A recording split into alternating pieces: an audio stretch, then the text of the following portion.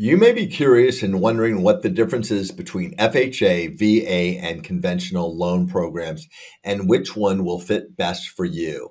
I'm Clay Robison, your mortgage sensei, and today we're going to talk about some of the differences. We've already, in our previous videos, talked about FHA and VA. Today we're going to discuss conventional loan programs and if a conventional loan program works for you and if that's a better fit for you.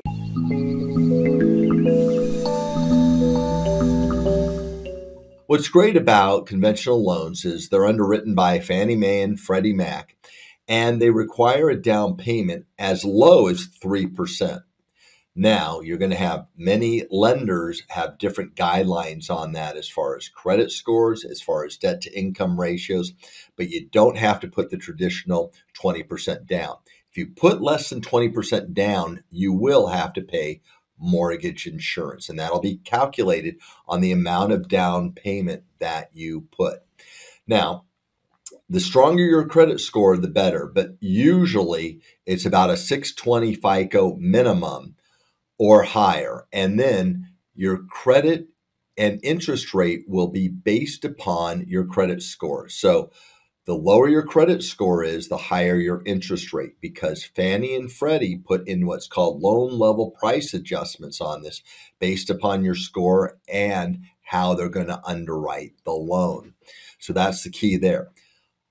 Conventional borrowers may have to pay for their appraisals, certain origination costs, and whatnot, but they are phenomenal programs. But remember, these are the toughest programs to get. FHA is a little bit more lenient on the underwriting, VA has zero down, and a little lenient on the underwriting. Conventional are going to be a little bit tougher guideline underwrite. This is a synopsis of FHA, VA, and conventional.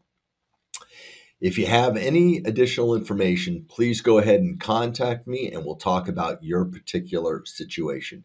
I'm Clay Robison your mortgage sensei. I serve and support home buyers in 49 states. If you would like additional clarity or information on this topic, book a call with me below.